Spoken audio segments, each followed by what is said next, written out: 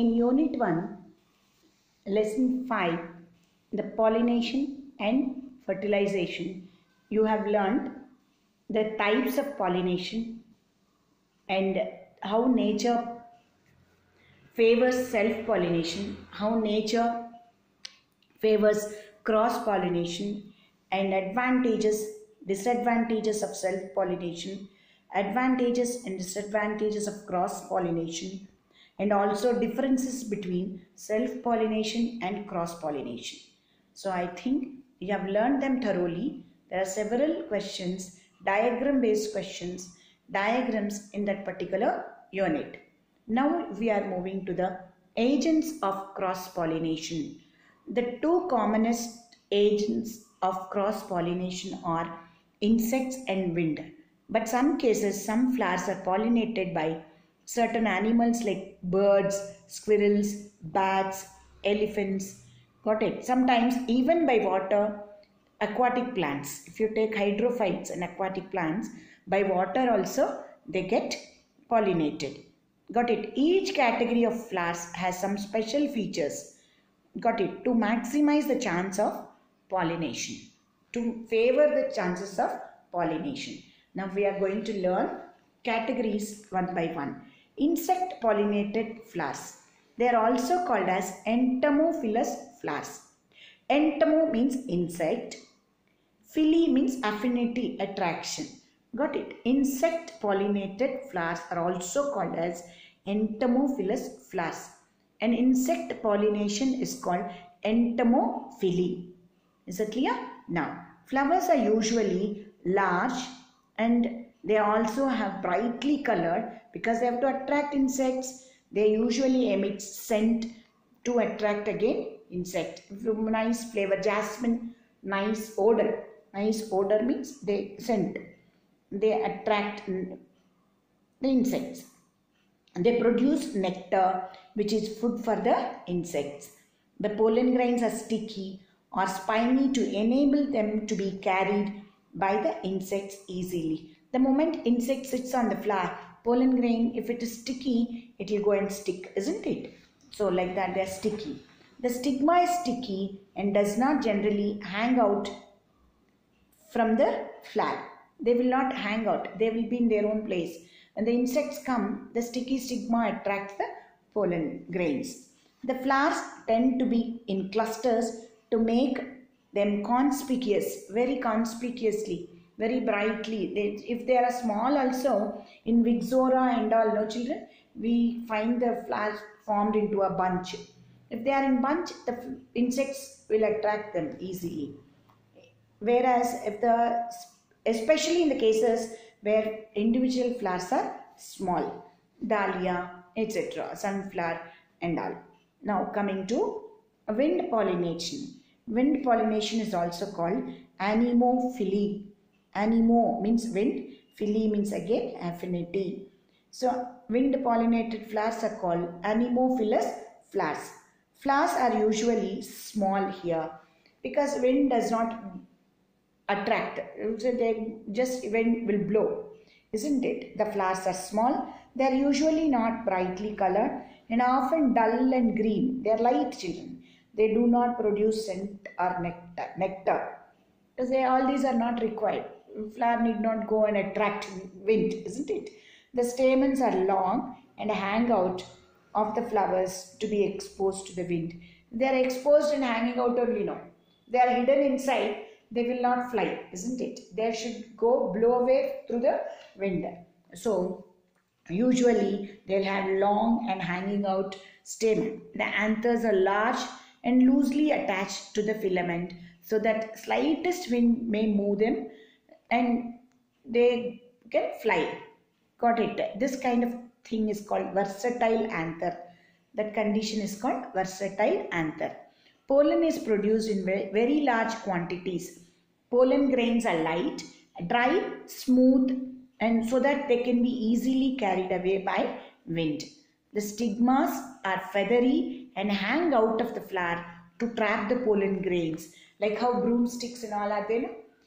Like that, they will be hanging out and easily they catch. Like brush, they are they can get, and the pollen grain can be trapped, get trapped in, into the stigma. Is that clear? Now, so the wind pollinated flowers are small, not brightly colored, and they do not produce scent.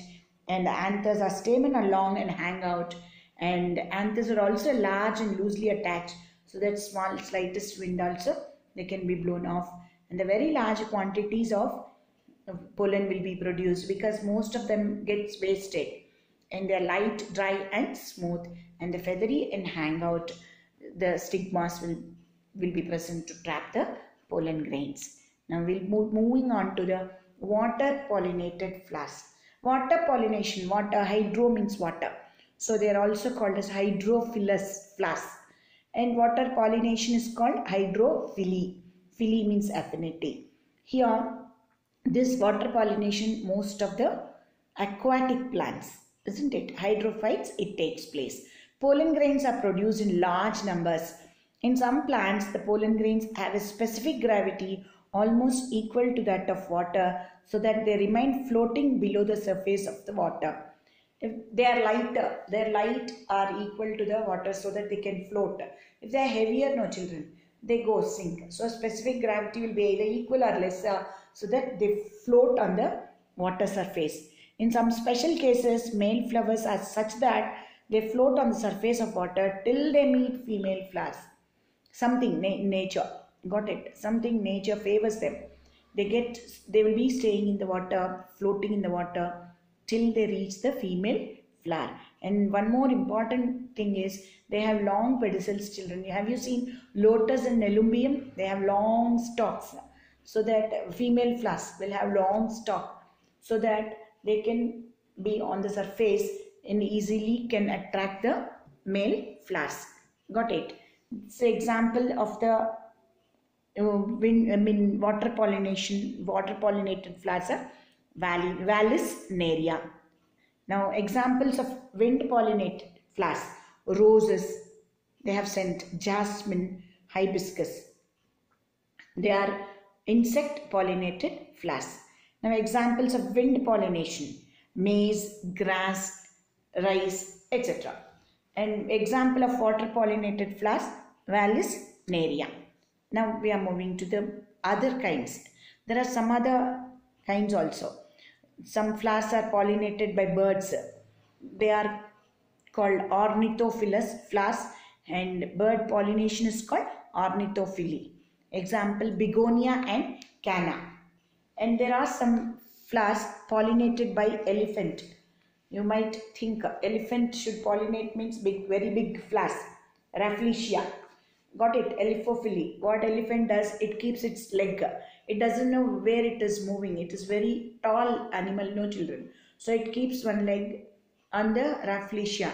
Generally, Rafflesia flower will be on the floor, children, of the forest. They keep one leg on one Rafflesia flower, another leg on another Rafflesia flower. Like that, the pollen which is stuck to the elephant foot will get go and reach the stigma of another flower and that is how Rafflesia flower gets pollinated.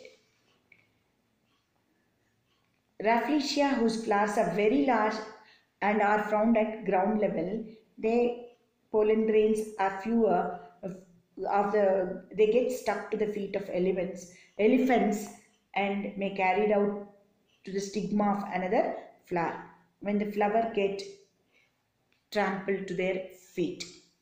Got it. That is why it is called elephophily hope you all understood the agents of pollination. Now we are moving to the artificial pollination.